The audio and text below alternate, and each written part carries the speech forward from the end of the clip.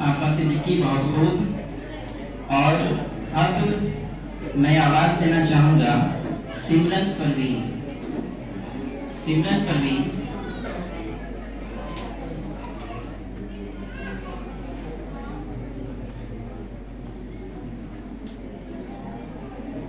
सिमरन परवीन।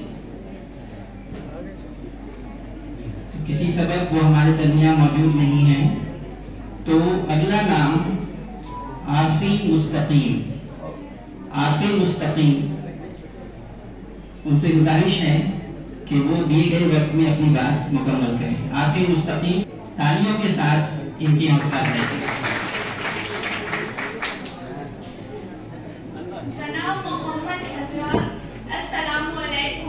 मेरा नाम अर्फी मुस्तकीम है। मैं बिहार कॉलेज की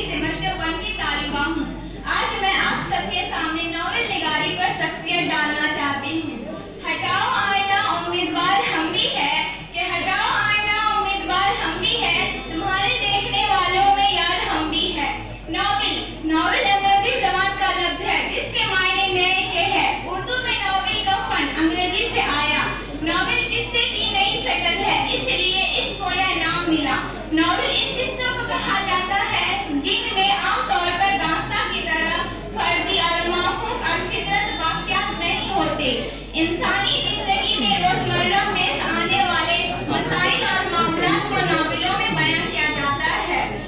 मैं एक फर्द या कुछ अफराद की कहानी पेश करना चाहती हूँ। इस तरह किरदार निगारी मंजर निगारी जज्बात निगारी वाकयात का वहम रब्त और तसलसल सब कुछ नॉवेल का हिस्सा बन जाता है इसी बात पर एक शेर अर्ज़ है लोग कहते हैं हम मुस्कुराते बहुत है लोग कहते हैं हम मुस्कुराते बहुत है और हम थक गए दर्द छुपाते छुपाते तो मैं अब प्रेमचंद की एक मशहूर नावल चौबन हस्ती जो 1927 में शाये हुई उसको आपकी समायतों की नज़र पेश करना चाहती हूँ यह नावल सुरमाएदार और गरीबों की ज़िंदगी पर लिखा गया है।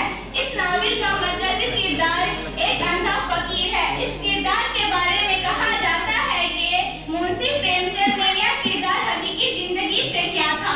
नावल की इब्तिदाई इस फकीर की सदर से होती है, जो लोगों को दुआ करते, देते हुए भी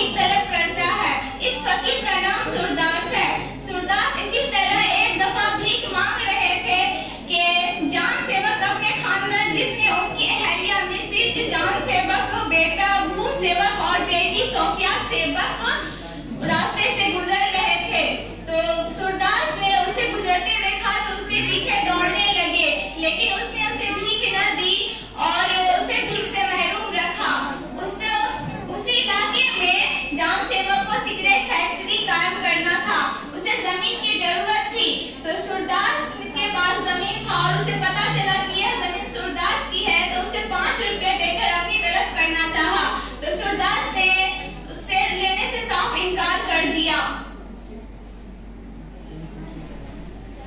छोटी सी ज़िंदगी है हर हाल में खुश रहो।